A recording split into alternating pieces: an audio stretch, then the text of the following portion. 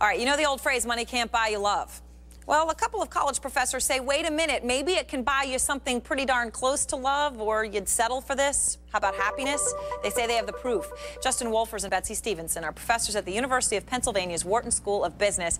And uh, as you all know, your recent uh, paper saying that money can buy you happiness has sparked intense interest among economists and media people and many others. So go ahead and uh, make the case, Justin.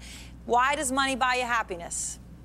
Uh, the why is always the, that's the tricky question. Yeah. The, the thing we're absolutely certain of is people in rich countries are happier than people in poor countries. Uh, rich people are happier than poor people, and uh, as countries get richer through time, they tend to become happier.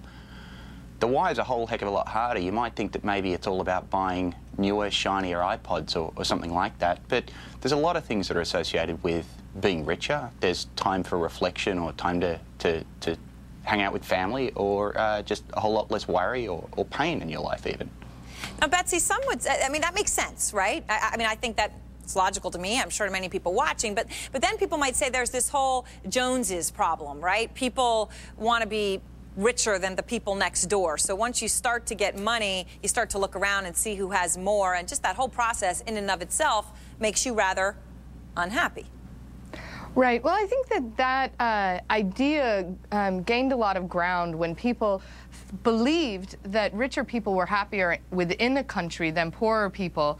But when we looked at the data, it wasn't clear that richer countries were happier than poorer countries. So we can draw a conclusion then that it must be the case that we're all comparing ourselves with our neighbors, and if everybody gets richer, it's uh, uh, we're on this treadmill and nobody gets any happier. We're just trying to preserve our rank in society. And our research says that there is a role for absolute income.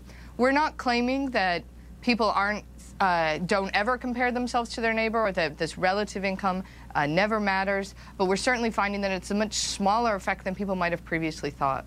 And Justin, so overall, what, what were your, what were the metrics? I mean, how did you go about doing this? What income levels did you look at? Okay. What people, et cetera? Yeah, uh, so we've looked at really just about every survey taken around the world since uh, in the post-war period, uh, where they ask people, how happy are you today? You know, very happy, pretty happy, something like that. Or they ask people, how satisfied are you with your life?